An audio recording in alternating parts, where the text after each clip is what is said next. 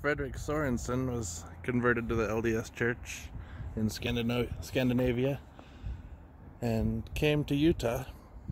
The first winter they spent in a wagon box in Manti, and later he built this home in the 1860s here in Ephraim, Utah.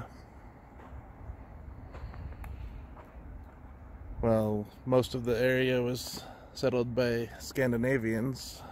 They didn't often keep the Scandinavian look for their architecture, but this one did.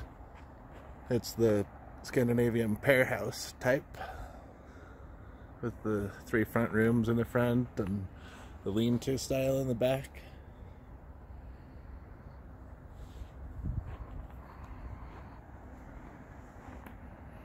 It's right here next to the university. Just east of Main on center.